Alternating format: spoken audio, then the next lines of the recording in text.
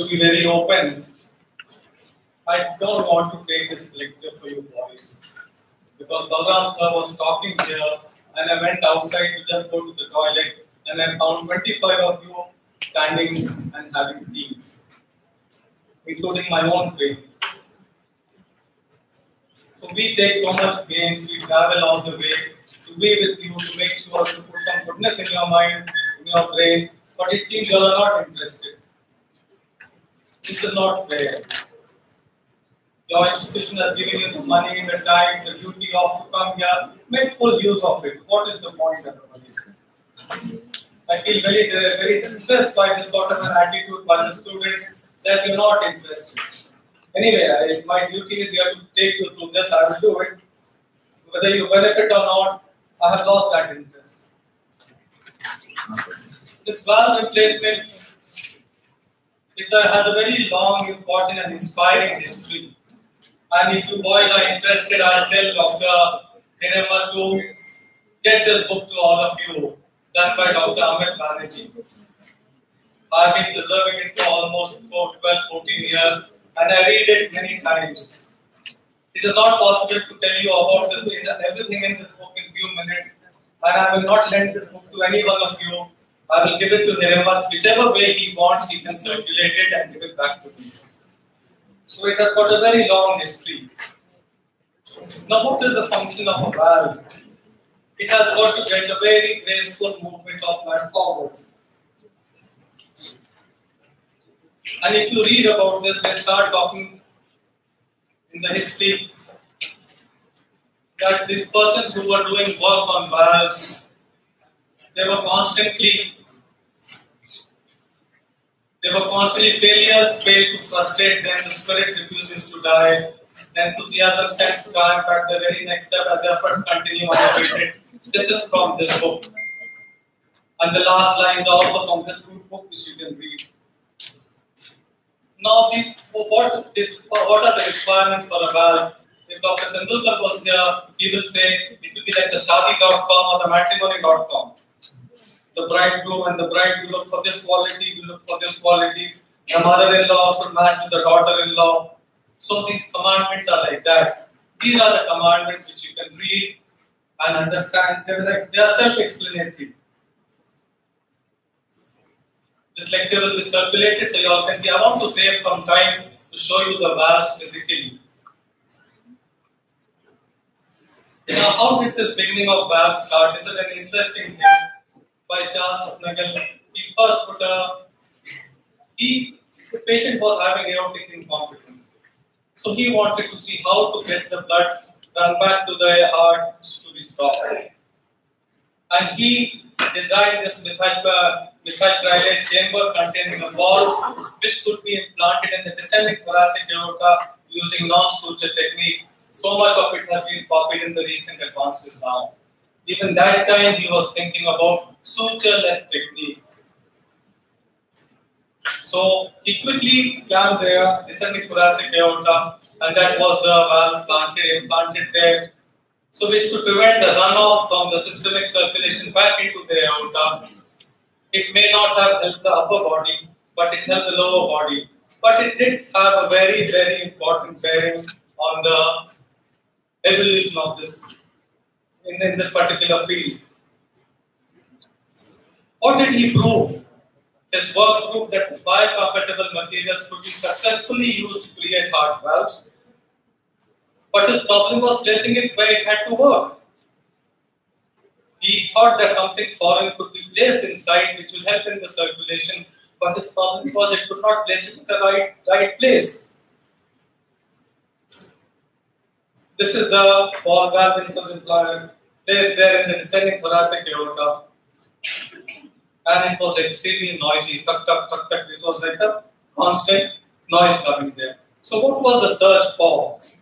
or biologically compatible material and a hemodynamically dynamically coherent design, like finding a deaf husband and a blind wife. With, the, with these things going on and no pictures, please. I'll give you the whole lecture. No point. No point getting distracted. Once corrected, you should follow it. So they started doing this. Yeah, I get off track completely. This the cage ball valves came into being. And this physician, Albert Starr and Lowell Edwards, they designed this cage ball valve using a single titanium cage, a elastic ball, and a sewing ring, like the valve which was shown in the X-ray yesterday, like this.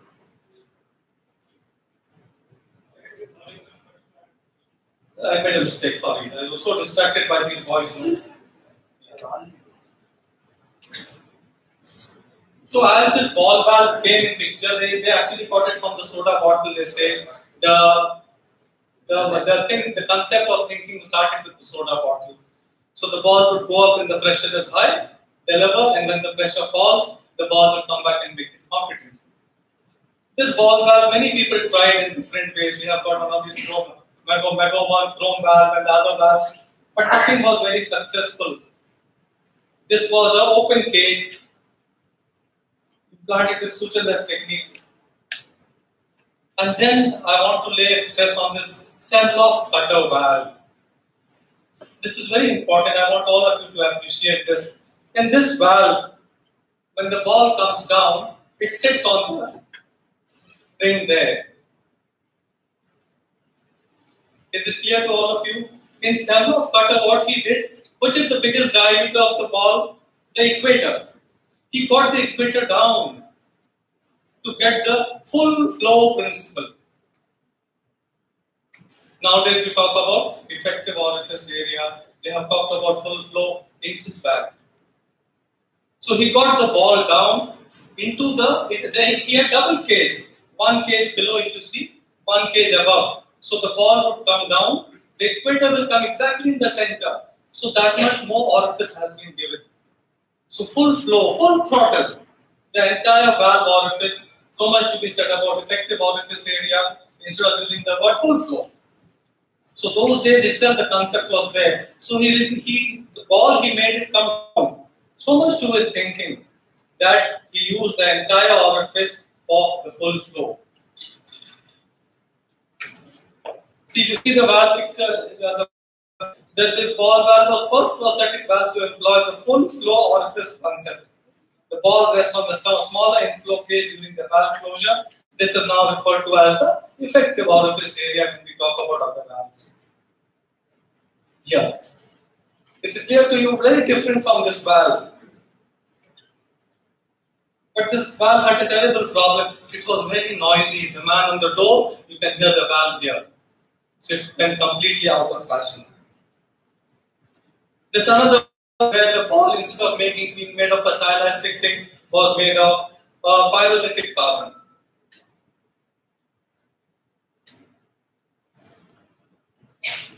Now, how did this pyrolytic carbon come into cardiac surgery? This you all should need to know. Dr. Bokros, he was working and they found that the nuclear fuel rods where they were being encapsulated with pyrolytic carbon. And that is how he kept thinking whether this will be useful to us in making valves. This carbon originally used to cover the fuel rods, he found that this highly polished pyrolytic carbon, it will not bond with heparin. They all were thinking of material where it could be bonded with heparin to be used inside the circulation to prevent clot formation. But he found that this will not bond with heparin, and that is when he thought it was most thromboresistant, non-heparinized material. And he started using it for valves. It was evaluated further. Then came the era of the tilting disc valves. The smart because it was used in nuclear reactors. Eliason wanted to source pyrolytic carbon for the. They did not. Give me. That is why they had to search for alternatives.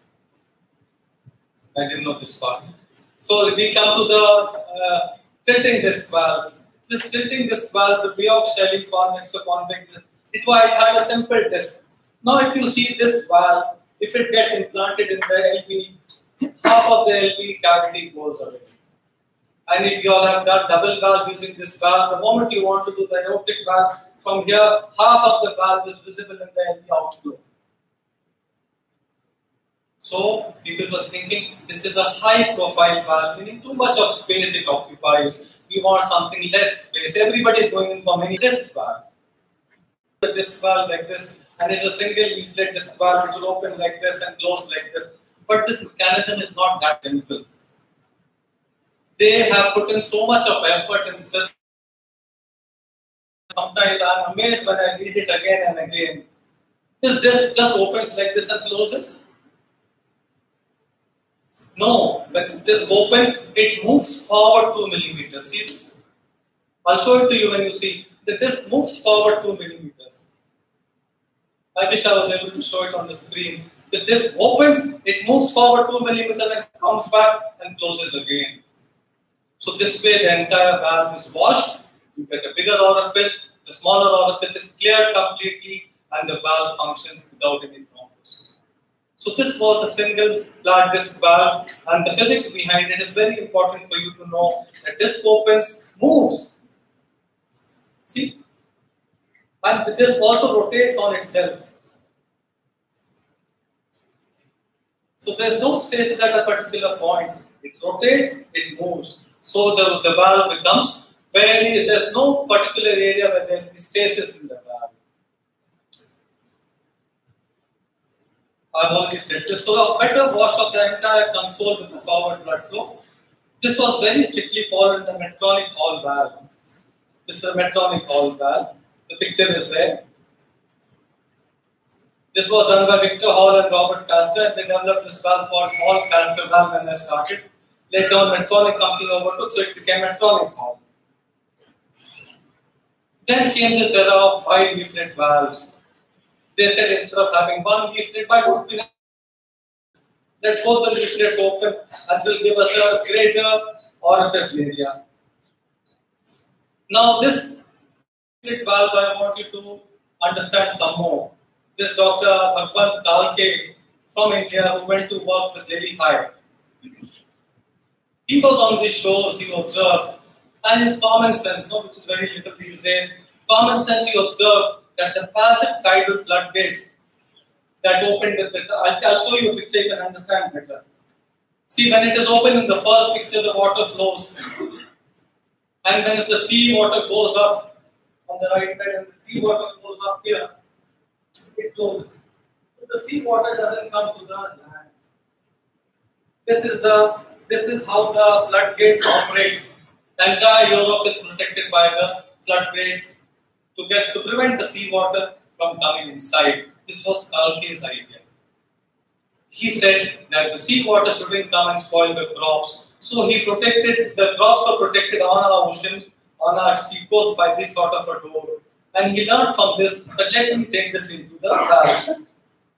So he suggested this that he was familiar with the passive tidal floodgates that opened with the outgoing tide and close with the incoming tide to protect the shoreline crops. So he fabricated a valve with Dr. Lillehei on this particular principle with the central opening. Remember, he first designed the valve with the central opening. So the bi-leaflet valve, the hinges were at the periphery and the center was open. So why the bi-leaflet designed to provide a low profile valve? What happened? The disadvantage was that there was relatively stagnant blood flow in the areas of the strut used to hold the valve. Thrombus formation took place here. And so what had to be done? He had the hinges in the periphery, valve opening the center. So what did he do? Solution. The pivot sides of the sides from the uh, from uh, the, the pivot sides of the leaflets were placed at the equator or at the annular ring. Instead of the periphery, got the pivots to the center and the valve started opening onto the periphery. And the problem could be overcome. Then came Robert Kaster who removed the overriding stress. And finally, we have the bi-leaflet St. Jude's ventricle valve. Though they say it's not a direct descendant of Kalke's valve, but I personally feel that it was by his design that they got the hinges in the center and the openings on the sides. Now, these three names you should know uh, Mr. Manny Villafana, renowned sources, and. Dr. Nicoloff. I want to ask you, anybody knows why the St. Jude's valve is called St. Jude's? Because the saint. I'll tell you. Now they the when they moved the hinges to the center, the mechanism at the central axis of the housing was made, and then they came the concept of the butterfly recess. If you are having a St. Jude's valve in the exam, the examiner would like to you like to ask you about what is this butterfly recess in the inner wall of the housing. It is the way the hinges move and gets washed with each inflow and outflow of blood. It's very important for you to read. And they got the whole valve made of pyrolytic carbon. By this name? See, because of these three persons who were working for the valve, they suggested we should call this valve Dr. Nicoloff. But he refused because at that time Mr. Villafana's son was very serious and he was being treated. And they have this some belief that Dr. Uh, this Saint Saint Jude Thaddeus is a patron saint, and they prayed for him for the child to be cured, and he recovered, and they named the valve after him. And that is how the St. Jude's valve came into being St. Jude's Medical. It is not by the company's name, but by the saint who, out of love and respect, they have named the valve. Then they came with the non-rotatable series, which had its own difficulties, and they were made into rotatable. Then they had the silver impregnated, and then came finally the Regent valve, which has got the effective orifice area very good. Improved effective orifice area, reducing the sewing ring, and all these things which you can learn from the book. Now, if you see St. Jude valve has got its own problem. If you ask the surgeon, they will say they have got this issue, valve thrombosis and all. But they all kept doing research. The St. Jude valve was not there up the road, and okay, we are happy with that. And this On-X company, Dr. Bokros and uh, Villafana developed other two valves, On-X and the ATS. And the On-X valve is very much in market these days. And you need to know about the On-X valve very, very carefully. Medtronic also came up with the bileaflet valves or a similar design. I'll talk about the On-X valve. It is made of a pure pyrolytic carbon. The must know things about this valve. The inflow valve has a flared orifice. When you see this, I'll show it to you. It has got a flared orifice. And on the score group, we asked you what is the function of this flared orifice. The flared inlet produces high volume of flow with increased washing to minimize flow stagnation. Whatever we do, we don't want stagnation of blood around the valve because that will be starting on the clot and the valve dysfunction. And the outflow ring consists of leaflet guards designed to protect the oh, you are awake now during the banana. Morning you didn't drink. the leaflet rotator, the outlet ring consists of leaflet guards to protect the leaflets while they are in closed position. And the leaflets rotate around the tap within the inner circumference. You can rotate the valve like this. See? The whole thing is rotated.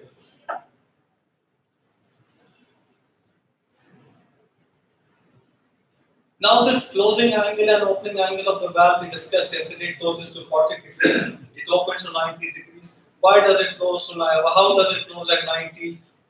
Why will it close? Will it not close? We have a discussion. I'll come to that very much very soon. And why they have kept it only 40 degrees? Why did not they make it 180 flat?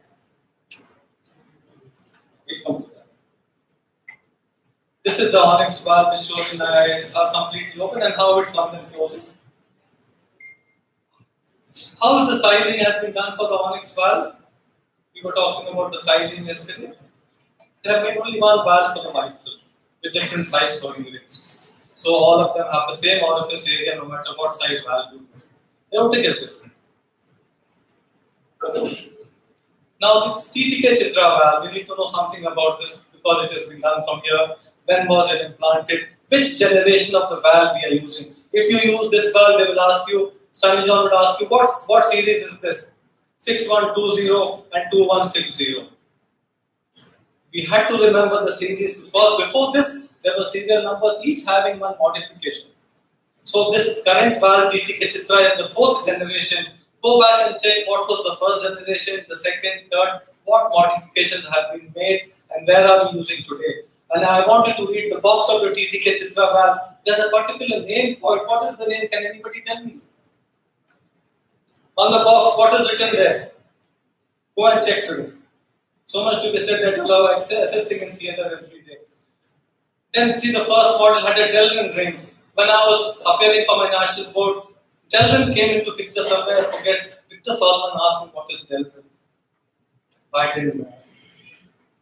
So you all should go back and read that. What is Delrin? I've got a slide for that. That, that is how the Delrin this was used and how they changed, how the alloys changed. And see, this is Delrin. It's a crystalline plastic which is between metal and plastics.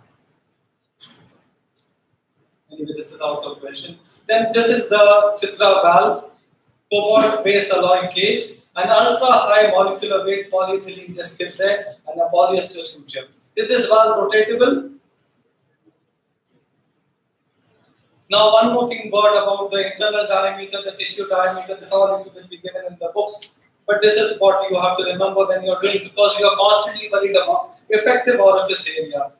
Now, if you see in the yellow, in the topmost blue and the red, the red is the effective orifice area, meaning how much blood is flowing through the valve. This is a formula which we have already given to you on the score by Dr. Prasanna, and you can go home and find out what is the effective orifice how much blood is going through it with the formula. Effective orifice area related to one square meter of the patient's body surface is index orifice area.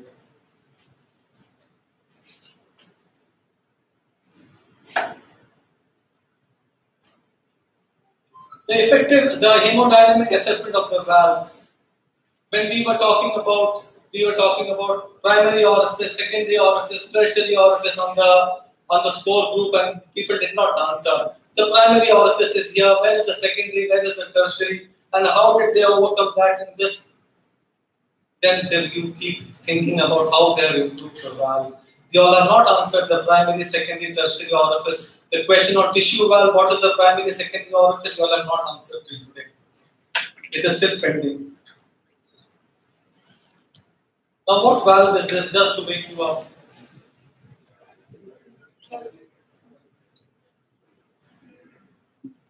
This one,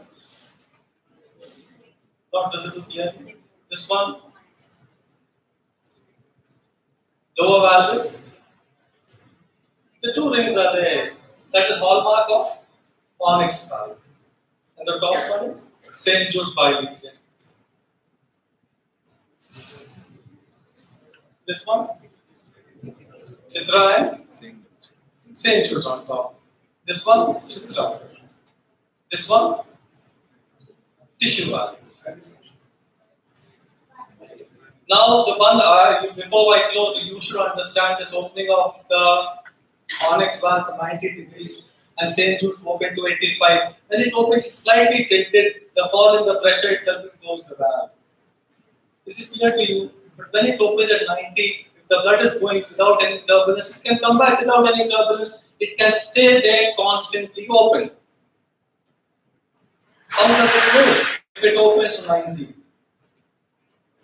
Now, this is the, the entire research, work, physics, money is spent on the pivot, on the pivot design. So everything else is the same for the valves. How does it close? This slide will show you that the, the pivot design is actuated pivot design.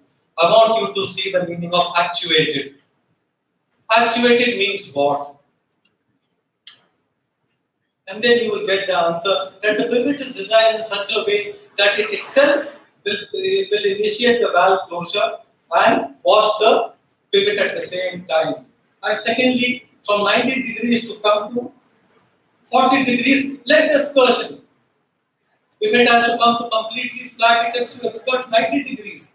So from 90 degrees, it just comes to 40. Only 60 degrees it has to work. That is why it is closed at 40 degrees instead of closing at zero. See how little little things are helped the valve so much. Open to 90, the activated pivots will initiate the closure, it comes down to 40. So only that much excursion is required for a faultless function of the valve. This is what we were trying to say yesterday, and you are not understanding. See, this is how in St. Jude's valve the butterfly pivot is there, recess is there, so it gets washed only in one direction. Whereas the On-X one, which is on the left hand side, it gets washed in two directions. So the thrombosis or the problem there is very little in these valves.